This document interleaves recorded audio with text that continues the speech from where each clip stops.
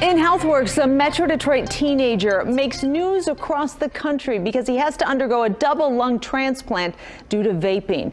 He's now healing and speaking out about his mistake, hoping other teens will hear his message. Before Daniel Ament says a word, he shows a video to the kids at his former middle school.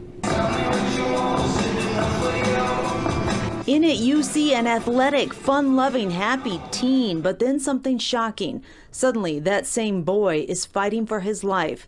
Now 17, Daniel is back at Our Lady Star of the Sea School in Grosse Pointe Woods, sharing his shocking medical crisis. I was very active. I played varsity sports at almost all ages and my ultimate goal was to become a Navy SEAL in the military. His voice is subdued, but his message is strong. A casual vaping habit almost killed him. I spent 29 days on life support as a 16 year old, and I only had a 10% chance of survival. Daniel anonymously made national headlines in the fall when he became the first vaping lung transplant patient.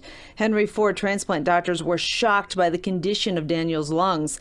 Doctors weren't sure he'd survive. What I saw in his lungs is nothing that I've ever seen before, and I've been doing lung transplants for 20 years. Daniel has admitted to vaping nicotine and occasionally marijuana, having no idea he was destroying his body. He wants other kids to know what he didn't, and it's working. Seeing someone close to me affects, it really um, just told me not to do it, like stay away. I thought that vaping was a healthier alternative to cigarettes, but we've been looking at it a lot, and now I know that it's close to or just or even more dangerous than cigarettes. Daniel, now very thin, must take 20 pills a day. This is not the life he ever expected, and he's pleading with kids to think twice about this habit that has turned into an epidemic.